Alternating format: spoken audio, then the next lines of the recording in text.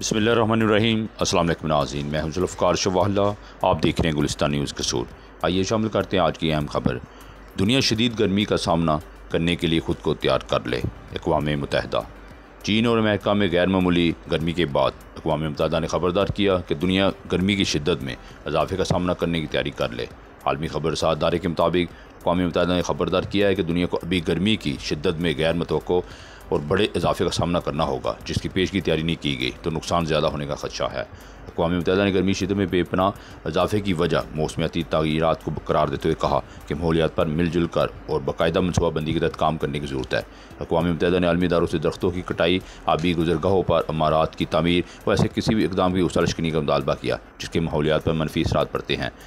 ख्याल रहे कि इस दफ़ा अमेरिका में गर्मी का पचास साल रिकॉर्ड टूट चुका है, जबकि चीन में दर्जा हरारत बवंजा डिग्री सेंटीग्रेड तक पहुँच गया। इटली में चौतालीस दर्जा हरार हो गया। मौसम तब्दीलियों का शाखसाना ही है कि कनाडा के जंगलात में पाँच सौ से ज़्यादा मकाम आग बढ़ उठी है और यही सूरत स्पेन, यूनान और स्विट्ज़रलैंड के जंगलात में भी है।